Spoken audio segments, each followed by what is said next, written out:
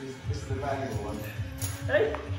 So we're now filming Araminta being cria Got Steve and Colin. Colin's the shearer. Steve is the able assistant who does absolutely everything else. The purpose of shearing them as a cria is to stop the young fleece that um, they're born with catching lots of vegetation in it. So it makes them clearer, makes them, it makes the fleece stay cleaner, but also um, it stops things like brambles getting caught up under the tail um, and um, that can lead to sites for fly strike. Um, it also means that their fibre is more usable once they um, are shorn at their first proper shearing at a year old. So Araminta was born in April, early April, so her shearing won't be till May next year, so she'll have plenty of um, fleece left um, because it grows quicker than the adult fleece. So by next year it can be more than long enough. As you can see, she's already got quite a lot of fleece on her.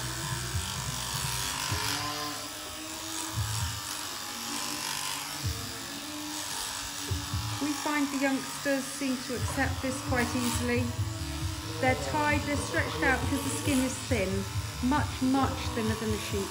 And if they're not stretched, then you can get um, cuts into the animal um, as you shear them, um, which can actually be quite nasty and at this time of year real risk for fly strike. So um, they're stretched, it holds them still. You'll see that at times there's a bag we put over the neck, that's a sandbag. It's, it's weighted so it won't suffocate the animal. This isn't like um, someone kneeling on your esophagus and stopping you from breathing. Um, it doesn't stop them breathing at all. They would panic if it did, but it does stop them wriggling around and getting cuts when we're um, shearing the bits that are most at risk. So there's the sandbag just gone on. That means they can release it a bit. Um, the animal stays still, just trimming up the bits under the body, under the front of the neck, between the front legs.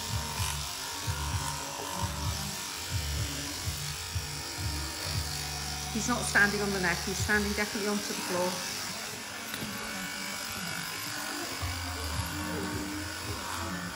Show you the other side. Going to see her. She's just hmm. very accepting of this.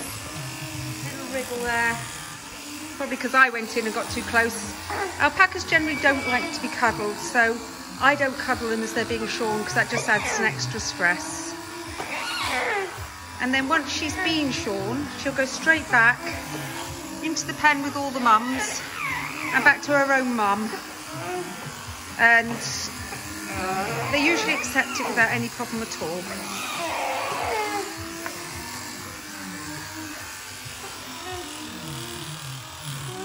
So he's just doing around the tail. They don't take too much off the tail because um, too much on the off the tail firstly means the mums don't, don't smell them, so they don't smell the same, but also it's likely that um, they'll get sunburn on their bums because they don't have much, much fibre just underneath the tail. This is the point where we actually find out their true colours because the ones like like um, like Araminta, she's obviously going to have a ginger belly, but they um, we've taken off the baby fleece which will have been um, discoloured by amniotic fluid and we actually see what colour she is underneath and she'll probably stay more or less that colour for the rest of her life.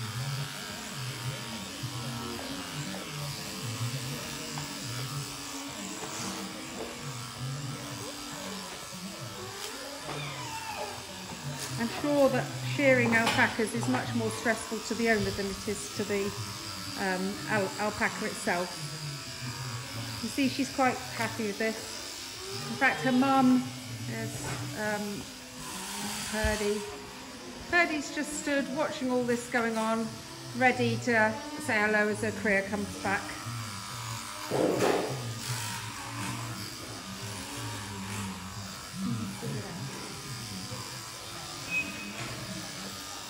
trimming up now very carefully around the head, make sure we don't take an eye or something like that out.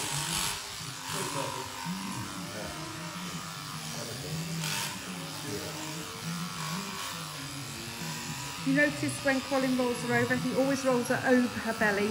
You shouldn't roll alpacas over their backs. And now he's just trimming up her head. This will stop her fibre as, as it grows getting into her eyes.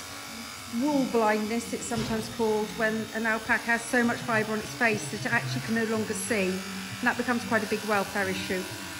One of the benefits of shearing this crias, it will stop that.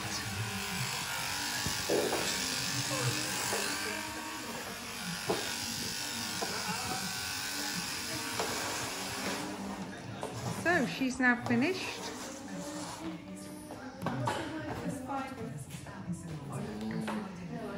So I'm just putting a neck collar on her in case we couldn't identify her again. And Colin the shearer, who's very, very good on fibre because he uh, recognises a lot of them, um, has said her fibre was good, which is a real nice, nice uh, thing to say. Um, I'll have to adjust that collar later, it's on much too loose, but there we are, she's going in to say hello to Purdy. She's following Purdy back into the main herd and away from, away from the front here. There we are, there's the two of them just in the middle. There she's sniffing her.